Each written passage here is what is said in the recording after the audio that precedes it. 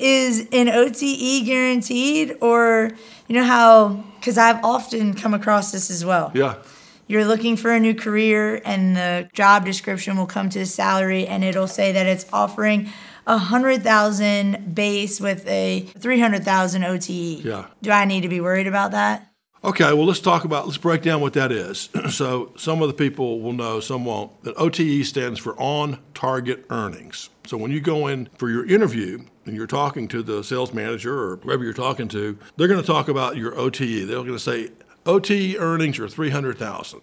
That means if you hit your quota, like if I say, Lids, you know, you need to do one and a half million next year to hit quota.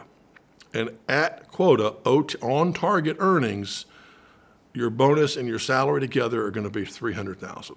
That'll be a 20% of the 1.5 million you get to keep. So that's on target earnings.